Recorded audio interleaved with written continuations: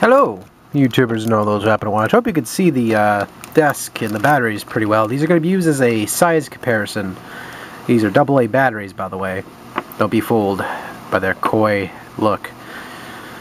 They're good until December 2023. But anyway, back on tra track here. I'm going to be talking about a couple things, just sort of to fill up the video a little bit, give a little bit of consistency, I suppose. So, first things first is I picked up this from McDonald's. And this is actually a little toy. Obviously, if you go to McDonald's, you get a toy with the Happy Meal thing. I didn't get the Happy Meal, I just got the toy. I escaped the clutches of that evil fucking bought. Anyway, so, number three is Donkey Kong, which is these little toys from Mario Kart 8. Now, I was not really going to open this at first. I thought about it, and I was like, so you know what? Fuck it. You know? It's the fact that life's too short. No, I'm kidding. Basically, I'm going to open it anyway. I mean, if I keep the toy and the sticker intact, it's still going to be worth at least something. But just one of those days I get old and naive and I don't give a shit anymore and I very much can't remember my own, uh, wipe my own ass.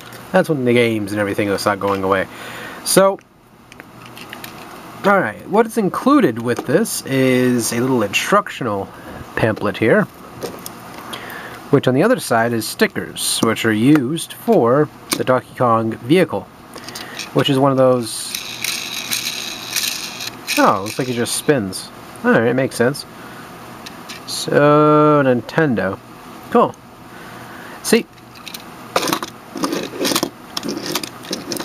see, I don't mind the drawback cars, the ones that you kind of crank back and, you know, just let them roll. But this right here is actually pretty cool. I can play this for hours. But not really. Um, but yeah, basically just has these little wheel bits here and all that. Simple plastic decal. So it's just white, black, and Donkey Kong on top. Which is quite interesting because he's a little bit shaky. Yeah, it's like, looks like he's not fully snug on there, but uh, comparison side to these batteries, he's about that big compared to the batteries. So, the build of this toy is actually quite nice. I like the design of it. It's one of the, uh, I think one of the hover ski modes they think the vehicles can turn into. Not too sure, I never really truly played uh, Mario Kart 8 too much, I'm just making an assessment what I've noticed here. Either it's a hover vehicle or a jet ski thing, if I'm not mistaken. Someone will tell me in the comments, because they've all, everyone by now has probably played Mario Kart 8 like fucking hardcore, because everyone talks the shit about it. There's a lot of people going off the edge just saying that this has to be regarded as the best Mario Kart game to date, meaning it's better than the first one, it's better than all the other ones, which I guess so, because apparently there's a lot of content to it, which is quite interesting. But there you go, Donkey Kong. Really nice looking figurine. You can get these for like $1.89 from McDonald's, so if you don't want to get a Happy Meal, just pay $1.89 and get a bunch of the toys. That's actually very cheap, so that's actually pretty cool. Uh, next thing here is actually a controller I've had for a while, and I showed this in a, like a periodical pickups video.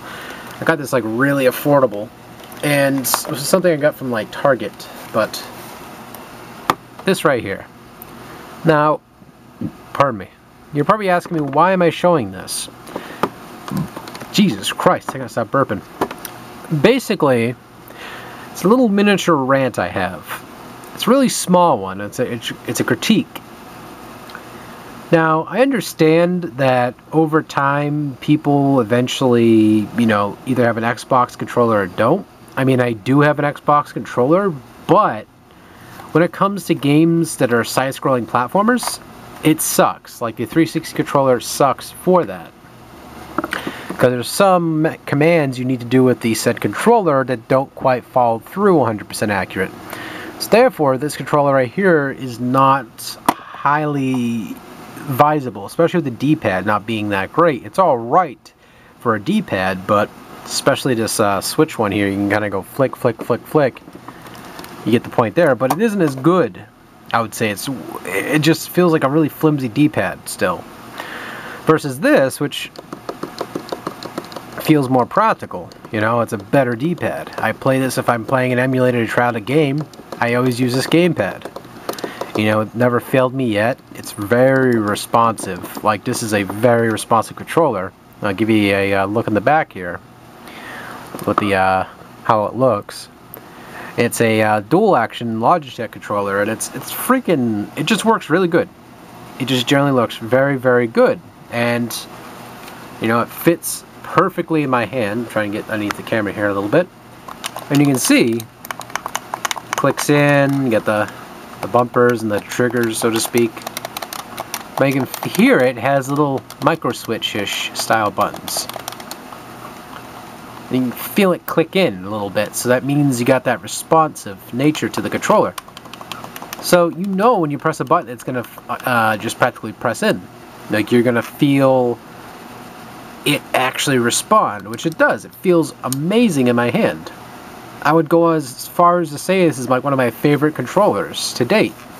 I mean, the Xbox 360 controller is good, but this right here takes the cake generally because it just feels nice in the hand. It's big. You know, it's big enough for my hands. I have pretty uh, meaty hands. You know, it just works well. But one of the things I notice a lot of modern games, they don't really support controllers such as this. I mean, this one, this controller's a little bit old, yes, but it's still very usable. I mean, it can be used very well. So you have to go through hell and high water, find programs that uh, remap controllers and all that, or make it emulate the uh, make it make the uh, other game or games think that this is an Xbox 360 controller, and you remap all of it accordingly, and make it uh, happen. But again, it just feels kind of weird that you'd have to go through all that hell just to get work with this controller. Now, I really hope in the future that a lot of companies realize that some people aren't going to be able to afford an Xbox 360 gamepad and want to use a Logitech such as this. I mean, I've saw other models which look a little bit more like an Xbox controller, but are still initially the same design overall, that PlayStation-ish style uh, analog control look. But again, you know, this controller feels really good in the hands and it works very well. I mean, it's an older controller, but again, it just works fantastic. It's like I have no complaints about it. So, you know, I wish that I can be able to use this on those games I purchase. Or I think a lot of people would wish that would happen too, because, you know, it's like shit. I got no beef against this controller except to the D-pad. And that's the main thing I like to use with the game I'm trying to play, and it just feels like ass trying to control with it. And it just it just does not feel practical. I mean, with FPS shooters or other games like that, it works fine, but otherwise, if you're trying to play a side-scrolling platformer, the analog stick kind of blows ass. Like, it doesn't carry through what you want it to. So, all those developers out there who actually would ever come across this video, please, please take this as gospel. Use this idea you know, make it open source that every controller can be synchronized and manageable to be able to be used for your game. Because it's like, Jesus, Charlie Mimosive. And the last bit of this video is going to be something sort of a uh, boo-hoo me kind of thing. But then I have not gotten sleep for like two days straight so far, so wee. So basically, I have these games here. Beatles Rock Band and Rock Band 2. Now, I've been trying to play these, and sadly, the controller I have, or the Rock Band, not the Rock Band, it was a uh, Guitar Hero controller I have, it had a battery leak, or a uh, battery pretty much corroded inside the controller, and it pretty much fucked it over, so it's a screwed controller. And this is, of course, from lack of use, so therefore the battery decided it wanted to uh, shit the bed and basically did it in a very unoptimal moment. That my room got really fucking hot, so the battery just committed suicide or something. I don't know what. But this room does get pretty hot. It gets like 109 degrees sometimes, give or take. Because I'm on the top floor, so the sun just beats the shit out of this room. Like, it, you have no idea how hot it gets in here. Like, I, I like I, I'm like caked in sweat. I'm like, ooh. I take a shower, I come back in the room, I'm still caked in sweat. I'm like, ooh. You know, it just does not bode too well towards my uh, immune system, you know? But again, I've been trying to play those two games, and I don't have a Guitar Hero or I'm sorry, a Rock Band controller for the PlayStation 3, so I can't play it, which sort of sucks. So in the future, I need to invest and get myself an official Rock Band controller that works with my PlayStation 3, so I can actually play those two that, those two particular games, and probably get Rock Band 3 and Rock Band 1 just to have the collection. So there you go. That's my little video for today. I haven't really been posting too much things recently. I've been, you know, kind of slacking off, but hey, I'd like to thank everybody for watching this video. A little bit of content to go along the way, and I also tried some of this right here. This is a uh, the Pepsi Cola made with real sugar, vanilla flavor. Which actually tastes pretty good. It's very creamy. But anyway, that's enough of me gabbing and rambling. I'm to lay down and take a little nap. But hope you guys enjoyed this video anyway. Touch my nipples. See you later. And thank you all humbly.